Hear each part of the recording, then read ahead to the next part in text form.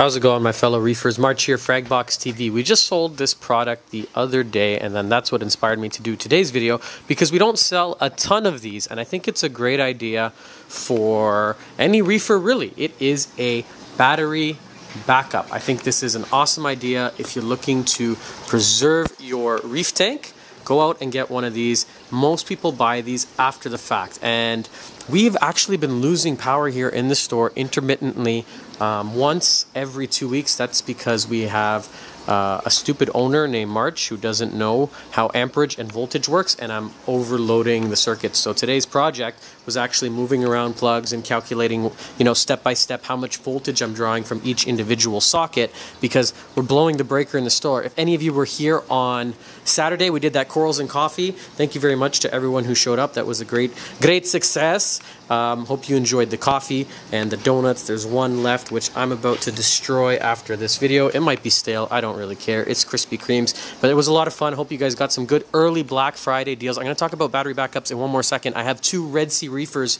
the 250s here. Stupid price. I'm not even allowed to say the price in the video.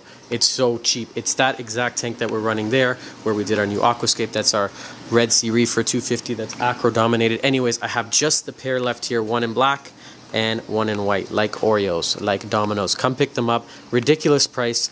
Uh, call us if you want the price or email you. I guarantee. I don't promise things. I, I never promise things.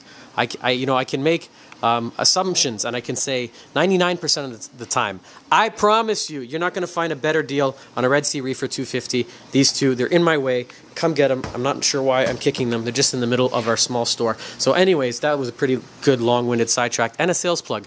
We keep losing power here in the store. I cannot run battery backups here because there's just simply too much to run. Like on a regular reef tank, you have something like this at home. What I would recommend doing is putting your return pump on this one. And why I like the Icecap is because this one is universal. Ecotech makes one as well. Ecotech Marine, what's up back there? They make a great one. It is quite expensive, but it's only going to run their pumps. This one by Icecap is about half the price. It runs 175 Canadian. I know a lot of you are in the US, so check out BRS. Can't believe I'm sending business to another company. It's because I love them, and I can't I can't sell these to you if you're in the states. We only sell them here in Canada. It's very cost effective, and you can plug in just about anything. It's universal, so it's going to work with whatever power head you're currently using or just about all of them. Double check. It comes with a bunch of little adapters, and it's a really great idea because in the event, when, not if, when, because everyone loses power eventually. If you know how it works, at some point in time, the power is going to go off, and that is very important for your reef tank. We don't want to lose power, and the most important thing I would say is the flow. You don't want the water stagnant. If this loses power, uh, God forbid, we are going to lose our filtration because we have our pump here in the back. So the water is going to become stagnant, the corals are going to be sitting still, and then we're going to lose uh, heat as well. It wouldn't be feasible to put everything on a battery backup. I guess it could be. Yeah, I guess you could go out and get a big like uh, UPC that you run a computer off of.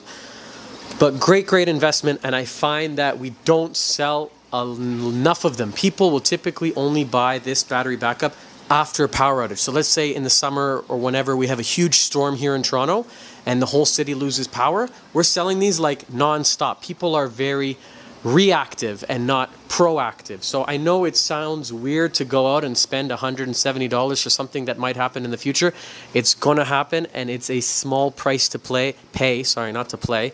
A small price to pay. It acts as a piece of insurance for your tank and it keeps that pump going. And you want that because the pump, your return pump, is like the heart of your tank. If you think about the water as the blood that's transferring the heat and the oxygen and filtering and keep just like the body. So we're going to think of the pump as the heart. And if the heart stops, not very good. I don't need to be a doctor to tell you that. What is going on with this Blasto? Oh man, not very happy. Hmm, sorry, Mr. Blasto. We got to figure out what's going on there.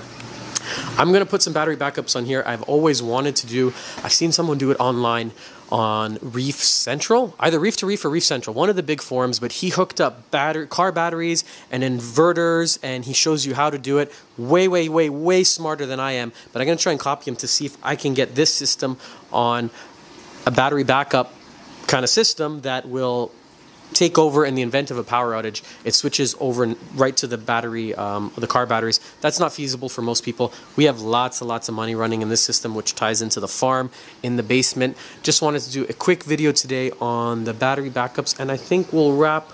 Yeah, I think we'll wrap this one up because we'll be back here tomorrow with another reef-related topic. What do you think, Mr. Diggs? Yeah? Oh, he's about tired.